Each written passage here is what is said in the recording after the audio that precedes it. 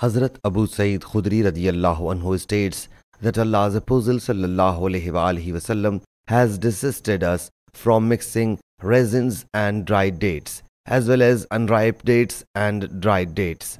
Sahih Muslim, Hadith number 5121.